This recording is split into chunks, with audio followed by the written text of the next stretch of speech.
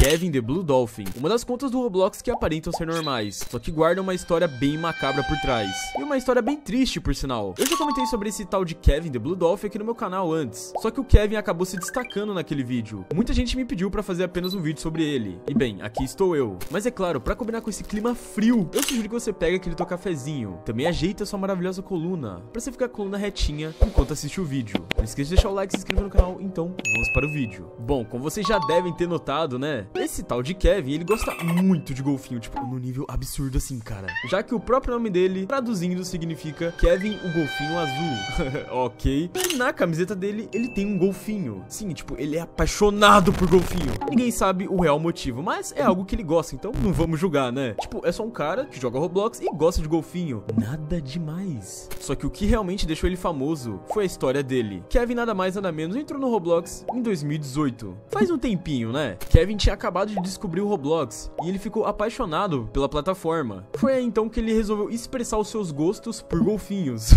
que foi o seguinte, ele resolveu criar um jogo no Roblox, basicamente. Um jogo tipo não pra ficar famoso, era um jogo tipo só pra ele, um espacinho só dele. E bem, foi aí que ele resolveu fazer o Dolphin World. No jogo ele acabou adicionando várias coisas relacionadas ao oceano, é claro, ao mundo aquático, se é assim que eu posso falar. Vários animais que tipo são bem mansos, se é assim que eu posso falar, porque tipo, ele não gostava de tubarões, ele realmente não gostava. O tubarão é basicamente um arco inimigo do golfinho, né? Então era algo que ele não gostava muito. E tá, por aí tudo bem, ele tava criando o seu mundo, né? O seu joguinho no Roblox só pra ele se divertir. Só que a história que contam é o seguinte: se você manja um pouquinho de Roblox Studio, você deve saber que tem os models grátis que dá pra você adicionar no jogo. E bem, foi aí que Kevin resolveu adicionar um model grátis no seu jogo. E bem, ele acabou adicionando um model que continha um possível vírus. Model esse que outras pessoas tinham acesso ao jogo dele. E cara, essas pessoas poderiam fazer o que quiser no jogo dele, tinham total acesso por inteiro. E essas pessoas desconhecidas, que a gente nem sabe quem é, acabou fazendo alterações no jogo dele. Um jogo que era para ser feliz, um mundo amigável só para o Kevin, acabou se tornando um pesadelo. Essas supostas pessoas acabaram adicionando jump scares, acabaram aparecendo sustos toda hora na tua tela, rostos macabros, corpos mortos espalhados pelo mapa e transformando o mapa do Kevin em um pesadelo. E é claro que o Kevin ele acabou ficando arrasado quando viu seu próprio mundo que ele criou com tanto carinho sobre sendo destruído e acabado por supostos hackers, se é assim que eu posso falar. Mas assim, muitas pessoas falam e muitas pessoas têm a teoria de que a pessoa que controla a conta de Kevin não é mais o Kevin, que é basicamente desses supostos hackers, né, que invadiram a conta dele. Bem, mas aí eu já não sei se é verdade ou não. Bem, você provavelmente já deve ter visto essa foto aí de um cara muito estranho, muito creepy e muito sus também. Cara, muita gente começou a comparar o Kevin com esse cara. Eu não tô brincando. Criaram teorias e teorias de que o Kevin era nada mais nada menos do que esse cara aí. Esse cara aí de golfinho é basicamente outra história. É literalmente um homem golfinho que ficou muito famoso na internet. E, tipo, é outra história, não, não, tem nada a ver. Mas enfim, acabaram comparando o Kevin com esse cara aí. Por algum motivo. Tem um TikTok também que é extremamente famoso. Onde literalmente dois amigos acabaram entrando no jogo de Kevin. E simplesmente do nada, assim, supostamente, né, no contexto do TikTok, o amigo dele que tava na água começou a se afogar. E, cara, simplesmente tinha um tubarão atacando ele. E do nada começou esses gritos aqui, velho. Do nada. tá. E o mais engraçado é que, tipo, a tela fica preta e só fica, tipo, a tela censurado.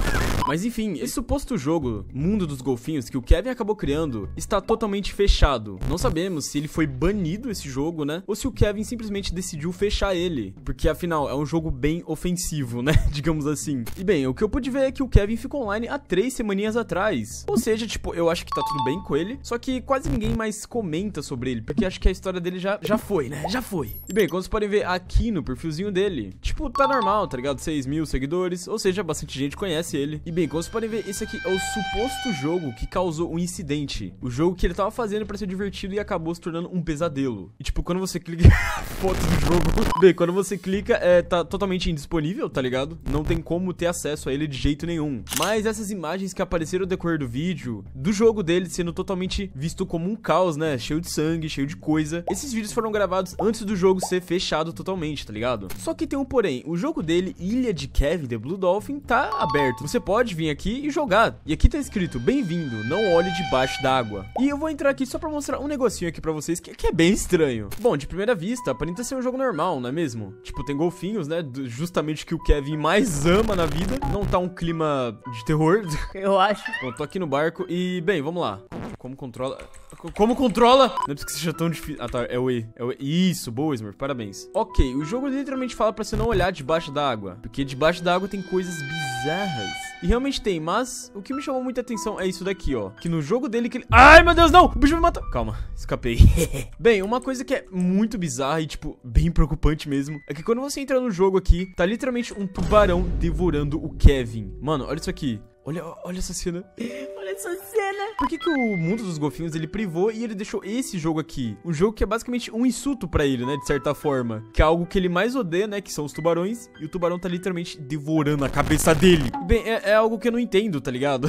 É, eu não faço ideia, eu não faço ideia. Só... Mistérios da vida, não é mesmo? Bem, o Kevin fala pra gente não olhar debaixo d'água. Talvez porque ele não queira que a gente veja isso aqui. Bem, eu não sei, acho que é uma baleia.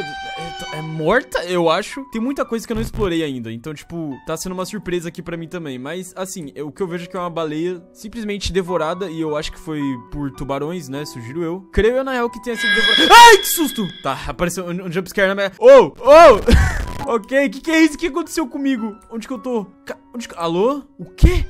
Onde eu vim parar? Mano, eu simplesmente fui pra um portal. Tá, é, eu não consigo sair daqui. É... Eu só tava indo em direção ao botão. E veio um jumpscare na minha cara, eu não mereço isso. Ok, eu tive que reentrar aqui no jogo e eu confesso, isso foi inesperado.